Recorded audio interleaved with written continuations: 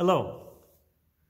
Our devotion for today is entitled Arise, and it is taken from the Gospel of Matthew, chapter 9, verses 18 through 26.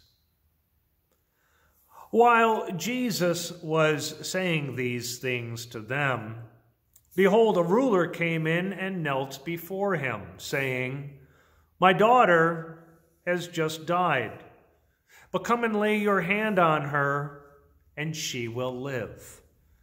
And Jesus rose and followed him with his disciples.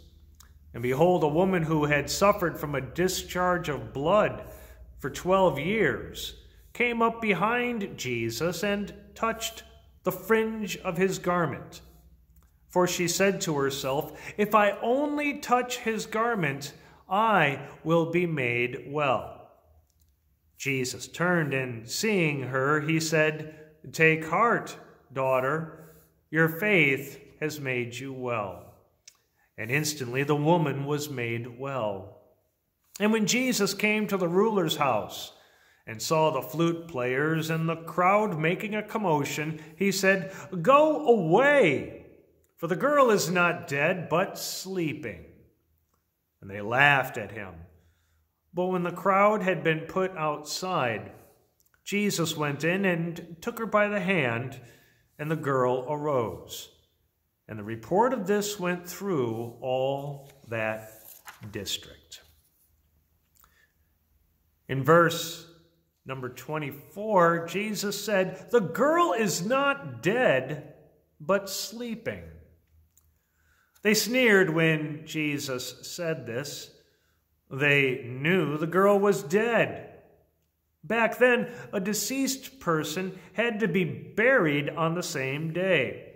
So it was very important that they were sure that the person was dead. When Jesus talks of death, however, he sees it through the eyes of God. He speaks not only of the physical aspect of our life, the part that's a function of the cells in our body, but he speaks also about a life, a spiritual life, that is related to God. That life comes from God and is sustained by God. But if it's severed, it can die.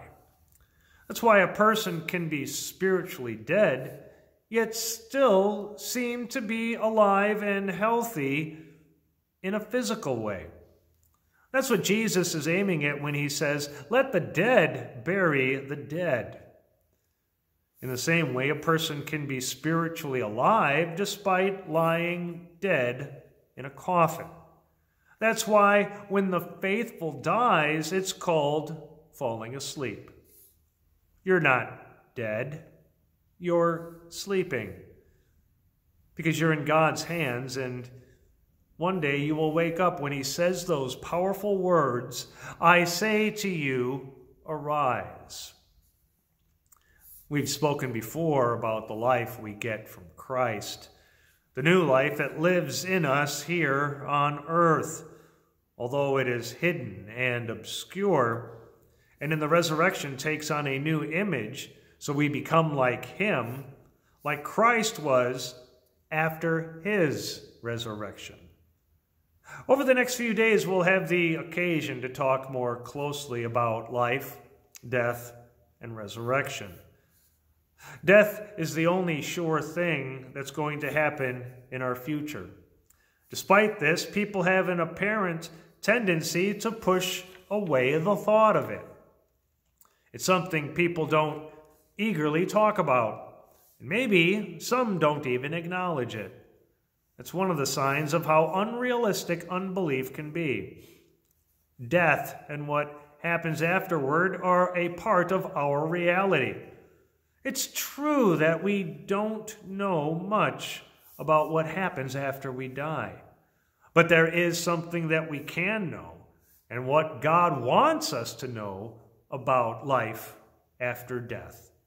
And that's what we're going to talk about over the next couple of days as we discuss the book of Philippians.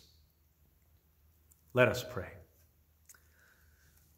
Lord, it's important for us to know that you are with us now and that you are our Lord and Savior.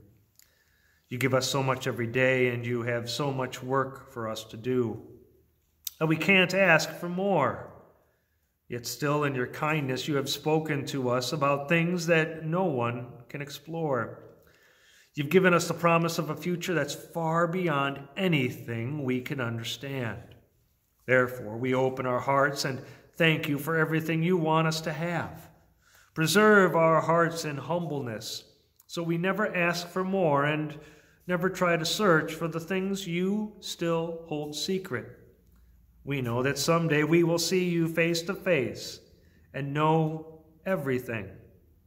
Praise be to you today for your inexhaustible gifts.